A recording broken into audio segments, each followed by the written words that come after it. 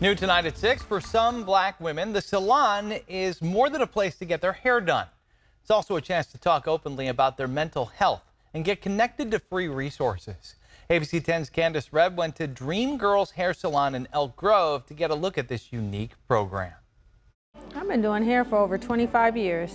At Dream Girls Hair Salon in Elk Grove, How was your day today? black women are putting their mental health first. We're all about uplifting, empowering, and helping black women. They're getting together once a month to talk about their challenges, successes, and life experiences. Black salon and the barbershops have always been the place that people go to to get counsel, right? To talk to, about their problems, vent about what's what's going on at home. In addition to getting support from hairstylists, So you definitely need a listening ear. You need the right listening ear. licensed mental health professionals help them navigate topics like building healthy relationships and recognizing the signs of depression. As a black woman and as a nurse, I deal with a lot of stress, and I've never had um, a therapist before. Only one in three black people who need mental health care receive it, according to the American Psychiatric Association. Some barriers include stigma,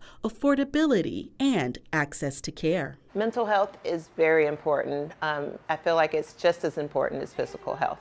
We definitely have to have a um, an outlet. That's why the Greater Sacramento Urban League started the Cut to the Chase program, the Crown Edition. It's a safe space, and it's so much good information. We have the resources, we have the certified therapists, we have free counseling sessions for some people as well. In July, ABC 10 shared how the Urban League started the Cut to the Chase program at barbershops to help black men with their mental health. Cut to the chase is important because it addresses stigma, mental health stigma, and it allows folks to be introduced to therapy. Now, the Crown Edition is here to support black women too. When we sit down and start sharing our stories with each other, this becomes a sacred place. It becomes a place where we can let our hair down, literally.